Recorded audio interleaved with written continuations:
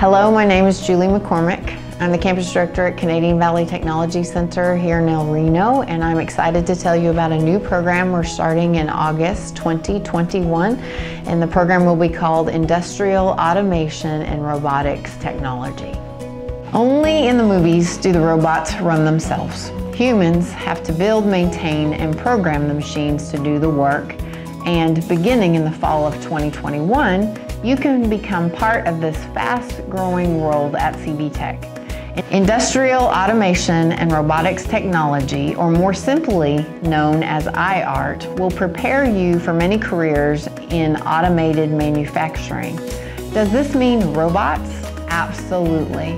But it also means optical sensors, pressure switches, speed controllers, PLCs, pilot valves, solenoids, and other automated tools. You will learn how to program, maintain, install, and integrate with other machines in order to build a finished product.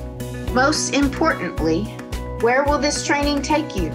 Potential career paths include electromechanical technician, controller programmer, robotic systems integrator, and controls technician, with potential wages between 20 and $30 per hour. This isn't for the old dirty dark factories of yesteryear. This is state of the art technology being used in modern manufacturing facilities today.